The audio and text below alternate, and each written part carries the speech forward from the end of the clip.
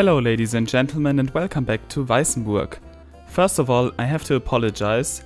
My plan was to release this video on Monday. Now it's Saturday. I had some time issues because of Christmas, but uh, at least I will get this out before the Christmas days. So, yeah, sorry for that again. But back to what I'm building right now on the screen, what you can see there.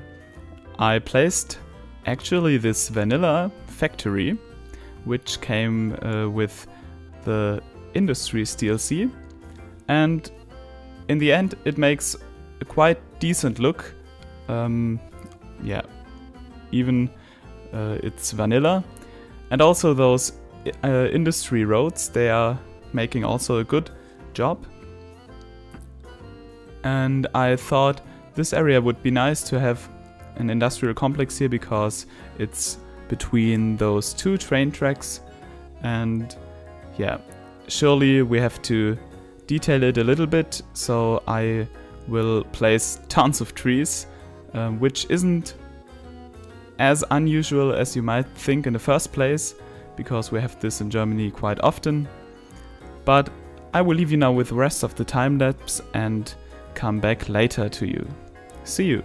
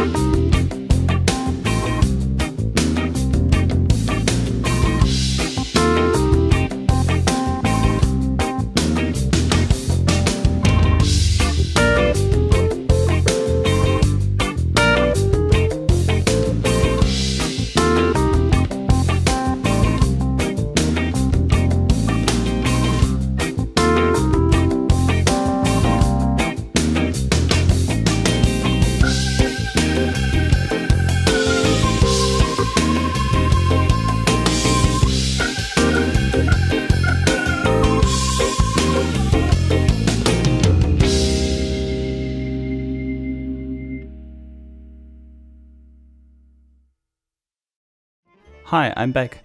So now you can see me adding this fence all around the whole factory and that's because I want uh, to separate this factory from the outside world so people can only uh, enter this factory through the security entrances I added in four places.